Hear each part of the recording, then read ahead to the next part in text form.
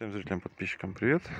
Сегодня у нас идет монтаж душа 1 на 2 на 3 увеличенной высоты, скажем так. Пока приехали и начали уже собирать каркас. Каркас душа у нас практически готов, лежит на боку.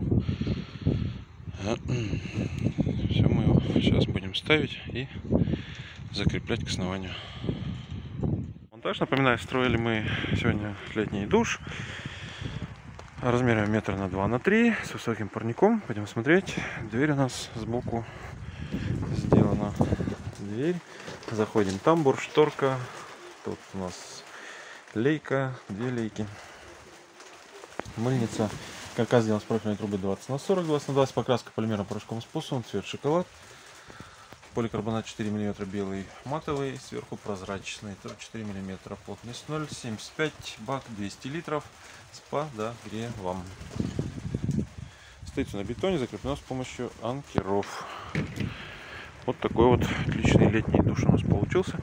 У меня на этом все. Ставьте палец вверх, задавайте вопросы. Всем